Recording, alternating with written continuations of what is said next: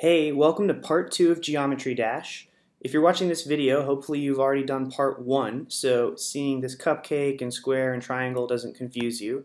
And we're starting off from there, so if you haven't watched part one, then check it out in the Create tab of Hopscotch. Okay, so in this video, we're going to have a point system count how far you're going. So the further you survive, the bigger the number you're going to get. Go to the gray plus button to add a new object drag out a text object. and Let's call it score. Now add a new rule. Okay, I want to play. So in this rule, go to more if you don't have every when, and then we're to pick equals, which is down here.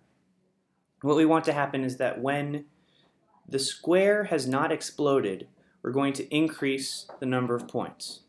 So go to values, and find the square's values by tapping on this gray arrow until you see square. Then pick invisibility as a percent, and then on this side pick zero.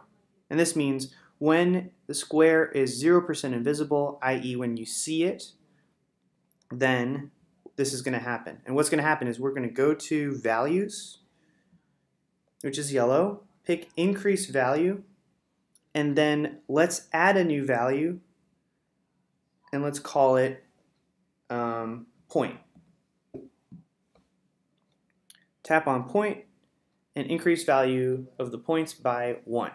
Great, so then press check and let's add a new rule. So exit out of this rule and add a new rule for score and say when the play button is tapped. Now let's repeat forever. So go down to the blue control flow tab and drag out a repeat forever block and then go up to looks and sounds. And what we want is to show the score all the time. So drag out set text, put it inside the repeat forever loop, then go to values and find the value point which you just created, which is under the square. So pick point, and now we'll always see how many points we have, and those points will always increase until the square explodes. So check it out.